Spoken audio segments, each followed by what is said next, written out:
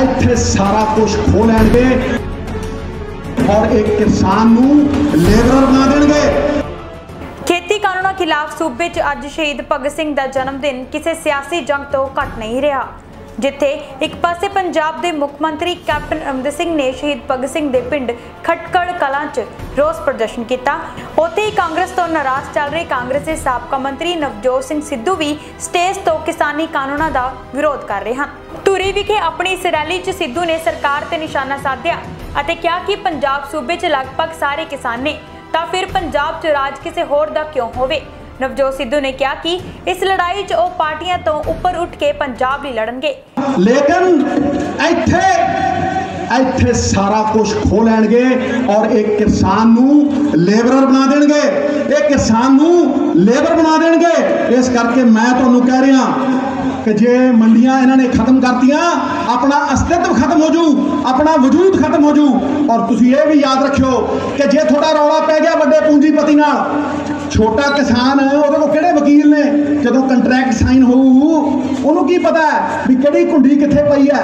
ਤੁਸੀਂ ਕਿਤੇ ਵੀ ਕਿਸੇ ਕੋਰਟ ਦੇ ਵਿੱਚ ਤੁਸੀਂ ਫਰਿਆਦ ਨਹੀਂ ਕਰ ਸਕੋਗੇ।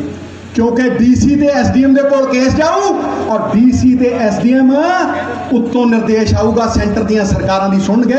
ਤੁਹਾਡੇ ਜਿਹੜੇ ਚੁਣੇ ਹੋਏ ਨੁਮਾਇੰਦੇ ਨੇ, ਉਹਨਾਂ ਨੂੰ ਨਕਾਰਾ ਕਰਕੇ ਰੱਖ ਦੇਣਗੇ, ਦਰਸ਼ਨੀ ਘੋੜੇ ਬਣਾ ਕੇ ਰੱਖ ਦੇਣਗੇ।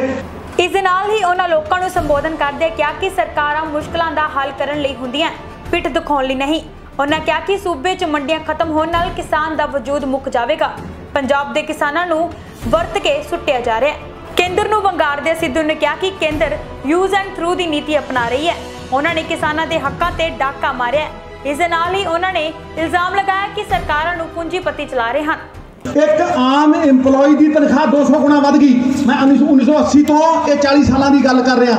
ਜਿਹੜਾ ਗਵਰਨਮੈਂਟ EMPLOYE ਹੈ, ਉਹਦੀ 400 ਗੁਣਾ ਵੱਧ ਤੇ ਜਿਹੜਾ ਇਹ ਅੰਬਾਨੀ ਅਡਾਨੀ ਦੇ ਘਰ ਕੰਮ ਕਰਦੇ ਆ, ਇਹਨਾਂ ਦੀ 1000 ਗੁਣਾ ਵੱਧ ਗਈ।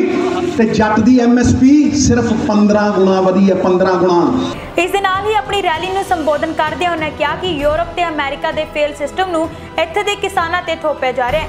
ਜਿੱਥੇ ਮੰਡੀਆਂ ਨਹੀਂ, ਉੱਥੇ ਕਿਸਾਨ ਮਜ਼ਦੂਰੀ ਕਰਦੇ ਹਨ। ਉਹਨਾਂ ਕਿਹਾ ਕਿ ਬੁਜ਼ਦਿਲਾਂ ਅਤੇ ਕਾਇਰਾਂ ਦੇ ਹੱਥ ਕਦੇ ਰਾਜ ਨਹੀਂ ਰਹਿੰਦਾ।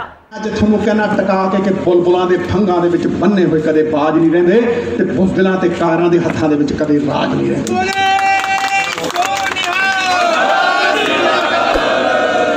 ਧੂਰੀ ਤੋਂ ਪੀਬੀਸੀ ਨਿਊਜ਼ ਲਈ ਬਿਊਰੋ ਰਿਪੋਰਟ।